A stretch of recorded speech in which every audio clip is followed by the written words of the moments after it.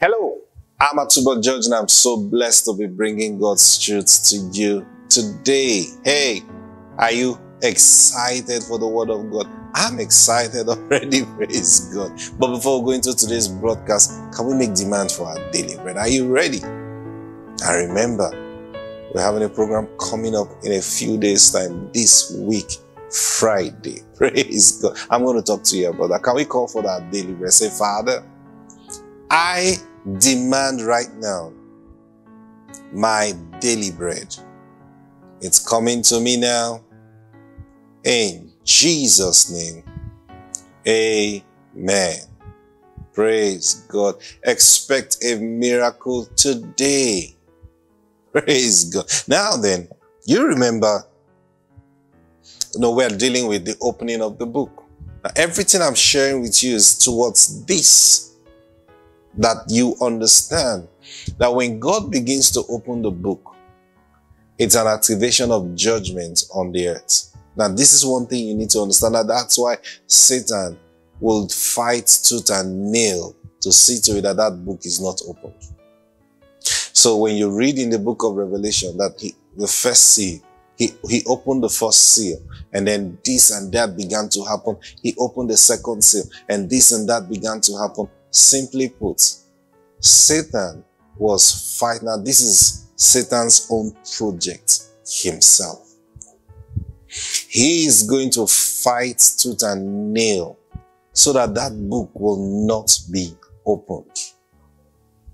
But you see, God who have spoken long before now have settled the matter and everything he has spoken will come to pass according to the dictates of what he has said. Jesus himself said, not one jot or tittle will go without being fulfilled. Everything that came out of God's mouth must be fulfilled. Now that's the reason if you follow and understand the teachings of Jesus, all he is telling you is, look, calm down. Calm down. That's why he says, take no thought for your life, saying, what will I eat? Or clothes, what will I put on? Now, why do people struggle in life? Why do people really fight every day, running helter skelter? It's because they have no faith in what God has said. Many don't even know what God has said.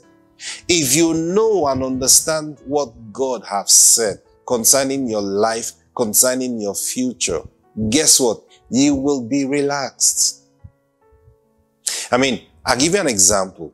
If I tell you, look, today is, today is Thursday, for example, and I say to you, look, you are going to, I'm going to give you a million dollars next week, Friday. Now, you know, if you know I have that capacity and then I love you that much, you know that, then I give you that promise that, look, I'm going to give you this amount of money by next week, Friday. Now, guess what? If, if tomorrow or today, later today, someone comes up to you and say, oh, you're owing me some money. I need my money. I need my money. Now, what are you going to do? Say, ah, please, you know what? Can you just be patient with me? By next week, Friday, or just Saturday, I'll pay your money. Oh, you see, no need to fight. Me. I'm assuring you. Why are you saying that? Because you believe what I said. So your disposition in dealing with that present issue will be calm. You say, no, let's not shout about this. See, there's something I'm working on. I'm assuring you Please, please. If after that day, you see, you're ready to talk like that. Now that's different if you don't have any hope. If you don't have any promise that I've been given to you. In that case, you start saying, eh, but you see, money is not easy to come by. You start arguing to see how you can argue yourself out of that situation. Why are you doing that? Because there is no hope for you. You see that now? So now when we know what God has said, guess what? Our disposition in life becomes calm. And this is the truth. The works were finished from the foundation of the world.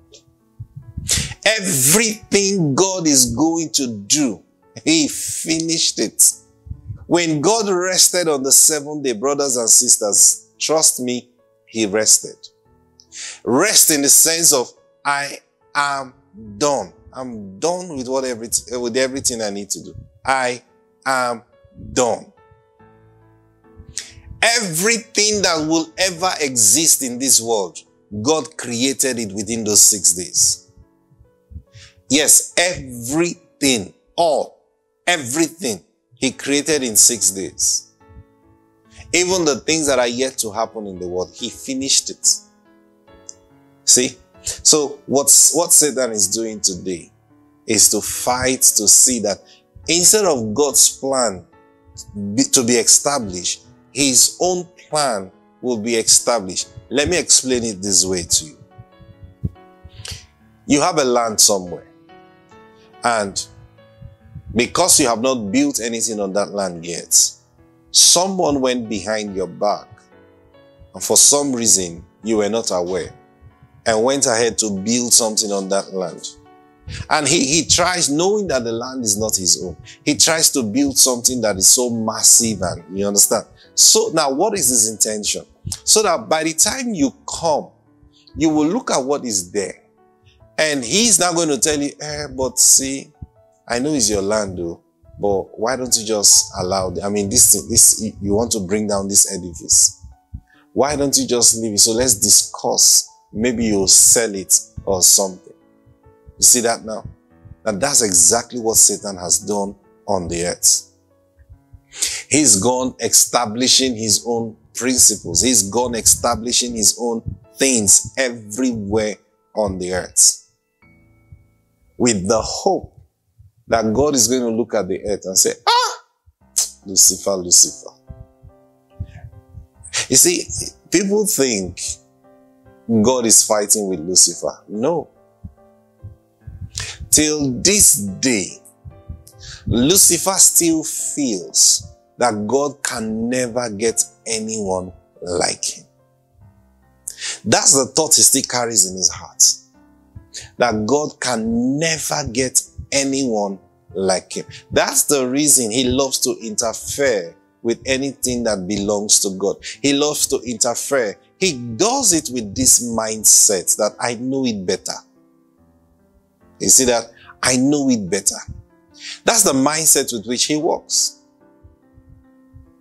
But you see, what he doesn't know is he only knows till the point that he was in charge. From the moment he stopped being in charge, and the thing about God is God is an eternal God. His wisdom is endless. His innovation is endless.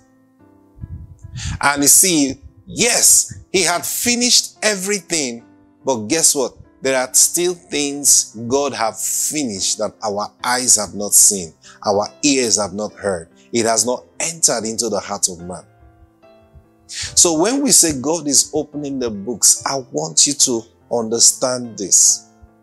There are things that are going to happen in your life that nobody, nobody will be able to predict it. Nobody will be able to see it. Nobody will be able to talk about it before it happens. Now that's the kind of life that we live in here.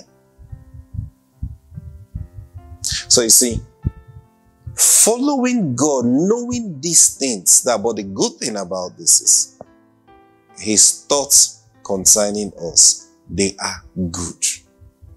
So even if God tells you, go to sleep, I will handle it. Don't start questioning, but, oh Lord, you know, I, I don't know how you handle it. I don't know. You know, for example, you're a lady and you're praying, Lord, I need a ta- tall, dark, and handsome guy that has money, that has this, that has that.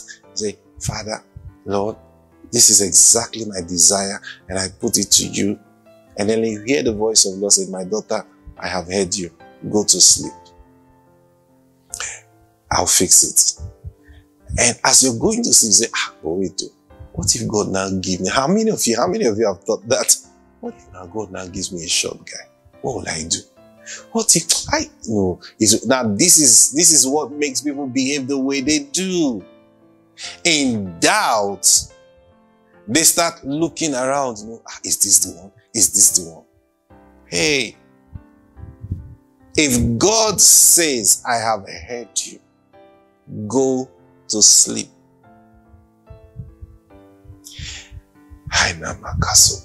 You know, I've, I've said this at different times. Even if a short person comes, all you need to do is to find out from the Lord, is this, are you the one that sent this person? That's all you need to know. And but I asked for a tall person. Who created the height? Oh, you don't think that God can add inches to that height? Supernatural. You don't think so. you remember Moses. Moses said, God, I'm a stammerer. God said, hey, Moses, I created the tongue. God was telling Moses right there, I said, Moses, I can heal your tongue. That's not an excuse. How can you be calling a stammerer to go and talk for you? Think about it. But because he's God. So you see, when God sets out, he doesn't do anything that will cause you damage. But you know the truth, sometimes even you yourself don't understand the desires that you are expressing to God. You don't understand it. He said, I know what I want. I know. You know, you don't know what you want. Because you're the same person who said, I need a tall, dark, and handsome guy. One day, you're going to wake up and say, eh, is he tall and handsome we will eat? Yes. You will be the same person to say that. One day, that person will be undesirable in your eyes. But when God gives you, God knows I call my Now you are here saying tall, dark, and handsome because that is what your mind can interpret the desire that is in your heart. Meanwhile, the desire was put in there by God. But your interpretation is wrong. It takes a while. I told you before, prophecies can never be interpreted accurately or explained accurately before they are fulfilled. No. Because any interpretation you try to give will be in types and shadows. Yes. Because mostly prophecies are given in parables. So the only time you can say that, ah, ah, is after the prophecy is fulfilled.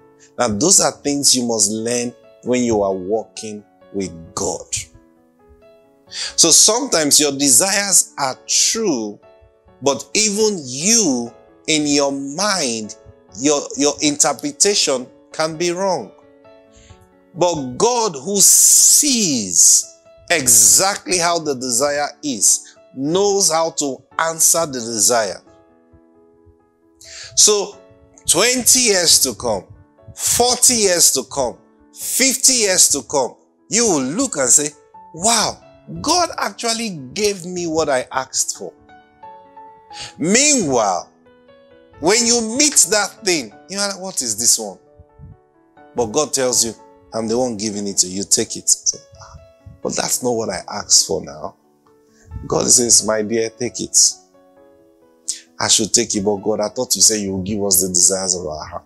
And God says, Take it. I'm the one giving it to you. Hmm. Okay, oh, God, let your will be done. And then you accept it. Time passes.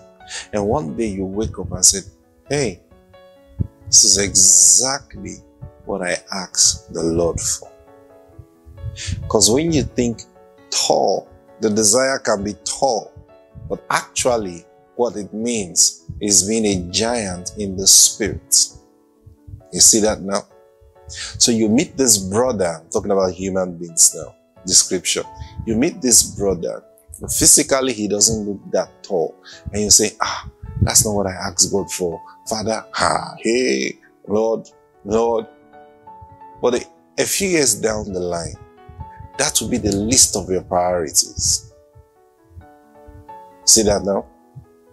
Rather, you will begin to realize that I needed a giant, I needed a tall person in the spirit. And then you look at this same guy, like, this is, this is a giant. This is exact, this is really what I asked God for. Praise God. That's how it is.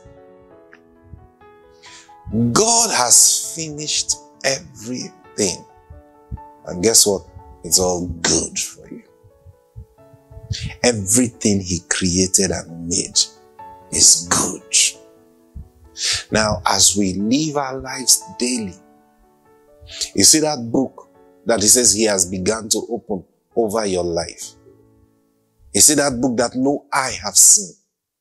The content of that book no ear have heard. It has not even entered into the heart of man. The things that are written concerning you in that book. But guess what? God have given to you his spirit. The Holy Spirit will take you by the hand and begin to lead you into those things that have been written concerning you. And this is important, especially in this season. Because what God is saying to us now is see that book, it is time to open it. So no matter the offensive nature the devil comes, no matter the distraction he tries to bring, this is what is going to be happening. The devil will rise up and God, his rising will become his judgment. Anything that rises against you in this season, that thing that rises will enter into his judgment. Now that's the dealings of this season. Anything that rises against you will only open up its judgment. Yes. Yes. So watch your life and see the things that are going to rise against you. This is why you must be sensitive to the Spirit of God in this season more than ever before. Put emotions out of things. Look at everything squarely and judge them according to the word of the Lord. But hear me, in this season, anything that rises up against you is only doing so to open up their judgment. And before your eyes, you will see the judgment of God come on them. Just like we read in scriptures. So relax. Pay attention to what God is saying. He's speaking to you. Pay attention to His words. Pay attention to His voice. And God is going to do amazing things in your life. Before we close, because my time is up, I want to remind you the program is tomorrow. The opening of the book is holding tomorrow by 5 p.m. at the 3J's Hotel here in Abuja, Utako District, Abuja, the Diamond Hall 3J's Hotel. Listen to me. I pray. We've been praying for you every day. That this meeting truly will turn things around in your life. To us, this meeting is a mark that will begin to open up the heavens in your life. That's why I'm encouraging you attend. Come. Plan for it. Leave whatever you're doing. Show up at this meeting. And God is going to do amazing things in your life. We've been praying for you. The Lord has been speaking to us concerning this meeting. I'm so excited about it. What about you? Plan for it. Tomorrow, 5 p.m. Let's meet together and receive from the Lord all that He has for us. Praise God. I'll see you tomorrow. God bless you. Bye.